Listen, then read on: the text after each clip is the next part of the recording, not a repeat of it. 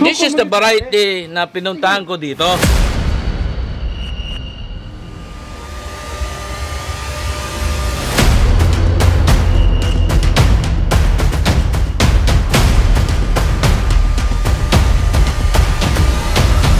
Kasi na-intriga lang ako.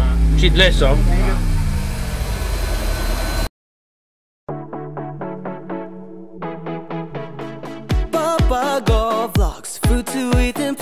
To see. Papa Go Vlogs, with him we can travel with ease. Papa Go Vlogs, fun is overflowing with him.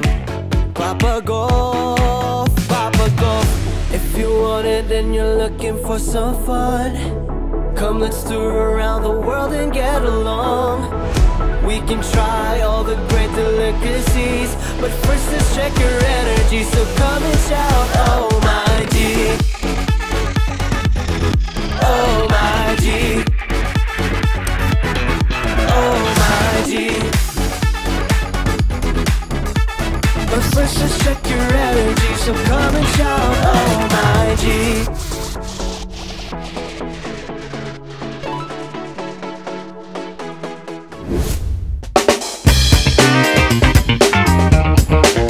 Hi, good morning. We are here at Barangay Bartolome, Manuel Yanga, Mintal, Tugbok District. Ito si Jojo, yung nagakumpra ng durian dito. We are just amazed sa yung seedless na durian. It's very yummy. That's why andito kami. Medyo handaan, hindi masyado okay, pero nakakarating pa rin ang 4x4. This is the seedless variety of durian. See? It's not big, ah. Maliliit lang. Ang ginagawa ng mga negosyante, pakyawin nilang yung isang puno, 90% hinog, putulin nila, hindi kasing sarap yung hulog sa puno. Tara, ato na to tong punuan nga seedless nga durian, baka pwede rin tayo magtanim doon sa Davao de Oro.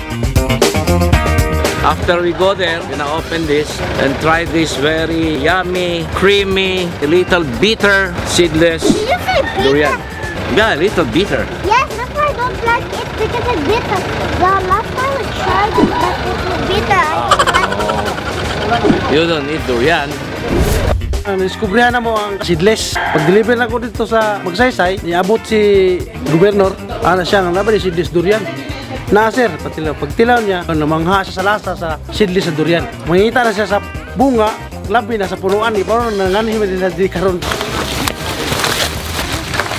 You just want to look at the seedless durian tree. Wala na, wala na. Wala pa isa. Muna ning punuan sa ano sa Sibdes. Oh. Wala pa. So, ito pala doon, sagingan talaga. Pero maraming durian dito. Mga pilakadlaw na mag... Uh, Sa pag pang magsaysay dyan, ang ginarbest, did this before bago mo ginog. Ginatok-tok na. Kabalo na sa sa nila. Kaya depende mo na, maingon ang bayar hanggang 7 days ko. Pang ano, pang planta. kailangan maghinog Pang or sa planta, planta. pang planta pa, 2-5 days sila. Oh. Pag daghang durian, up to 5 days lang. Hmm. Pag nihit ang durian nila, up to 7 days ilang kaon. Hopefully, makakuha tayo ng sayon. Gusto ko mo tanong po ani ba? Kung gusto kang mag magkakuha ng variety, magpatubo sa kadaan o kanang liso, pinakadabis nga liso ang gamiton nimo, liso sa native. Kay ligon ang punuan na na. Tanaw nimo nga dagko na siya, pwede na siya matsumpayan. Palit na ka na og sayon karon sa seedless. Kabalo ka ba? Ang kilo sa durian sa Singapore, 30 Singapore dollar, 1,400. Ikaw balit sa Pinas? Diba? Per kilo. Ah, wala no. Ang ilang pinaka pinakalami, Black Gold King. Sunod, Mosang King. Kay according to them, bago lang na-appreciate sa mga insect ang durian. The last 3 years lang ba?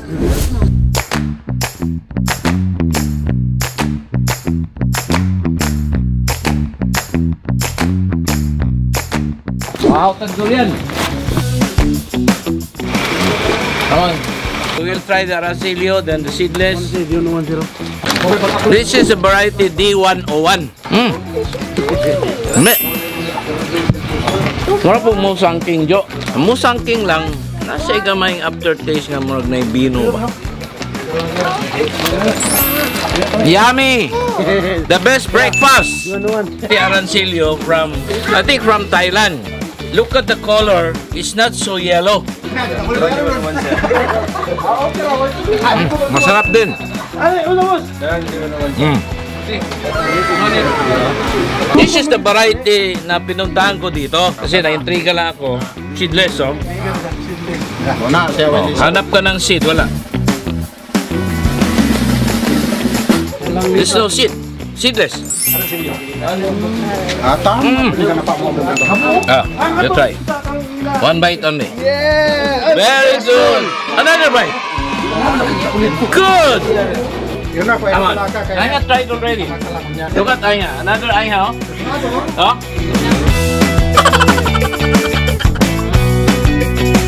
So this variety can compete with the best variety of Malaysia that is Musang King or the Black Gold King. Masarap talaga. This is a mini ball. The owner of this uh, tree, the uh, seedless durian or the Umali variety.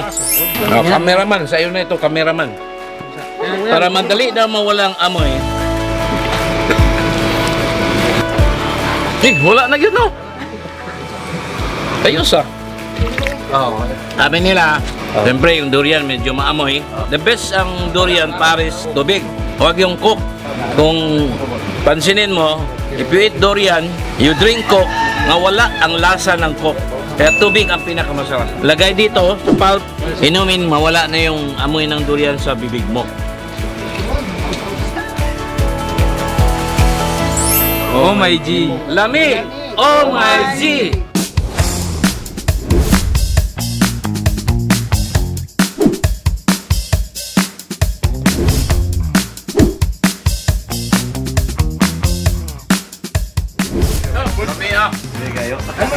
Best! Pagka nag-smoke pala siya, it means young pa ang tree. Kanina tree is 18 Old na. plus, ah, 18 years old na na siya. Bulubot na. Bulubot, bulubot, bulubot na siya. Lami, ang texture niya kung Smoke taste, pa. smoke Pa. yapon, no? Lami yapon. Mas lami ko, basta magkadugay ang durian. Ah, gani. Hmm.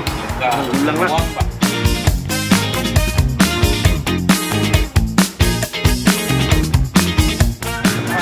Four months na ko. Musang king na eh. Isa, paganahan ko na nila napansin ko. Boko. Buko pandan so. Ang unahon anak ko sa buko. Makurog sila taghawa ka buko. Busog na dahang gamin na kumakaon. Astuan ang musang na sila may yang mas piyasot ang yang seeds kaysa blackthorn. Pero sa lasa go. Lami pod. Marang marang sa marang marang langka. Oh, Pero ang lasa niya, durag lang ka og durian. Dagali variation niya kung ani. Kapag naman sila ma-educate kulang lang sila nga educate mga naapo ing ani. ano, morning ko sa musang king. Nabot kaya ko Lip.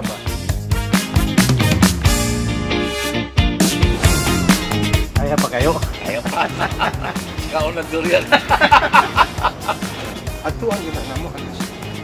So, yeah, kaya siya ba yung nagpasikat sa durian sa Malaysia sa mga puti? Pili yun niya ang durian. Kaya naman ah, di pili niya kay, di man daw siya baka unsa daw, baka resist ba nga. Napa siya, Passion. Pag pruning mo ani, dapat, kaya ang purpose is dapat, mailhan mo ang healthy nga tree kung wala yung mga gaway. Kaya dapat mo automatic siya ni anak. So mo nga siguro yung spacing is 12 pero ako ah as I've said sa 10 okay na ako sa 10.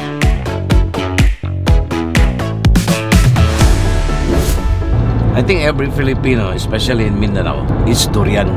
We have so many varieties of durian. So, for me, I've been eating durian for how many years? I was born in a community in Barangay Madaong where almost every household there planted durian.